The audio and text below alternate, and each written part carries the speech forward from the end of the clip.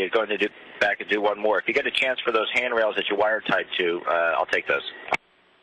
So far, I haven't hand, uh, wire tied to a handrail. I've only used the C clamps, uh, 9, 10, and 11, and then I w- use the wire tie to wire the four cables together to make sure they stayed as a bundle.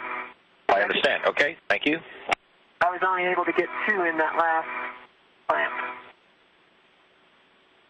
Instead of all four.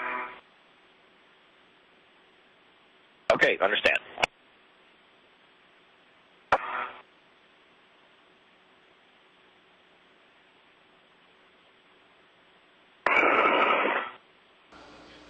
Once again, uh, Harmony is situated uh, in its temporary location, that uh, newly arrived module brought to, to the station on Discovery's recent mission was attached uh, to the left port of the Unity node of uh, the station.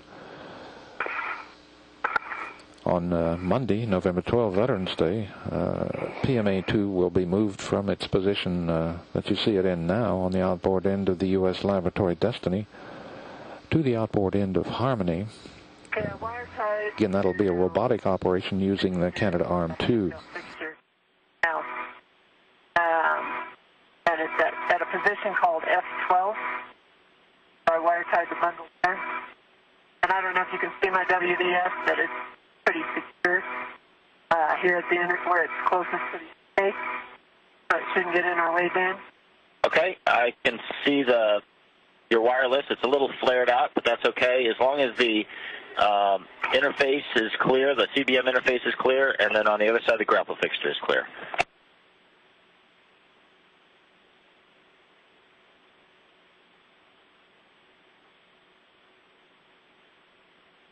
Actually, I'm gonna, there's another loose, I pull it snugger down here, it'll.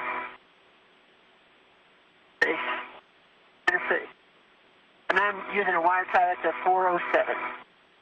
Wire tie to 407, copy.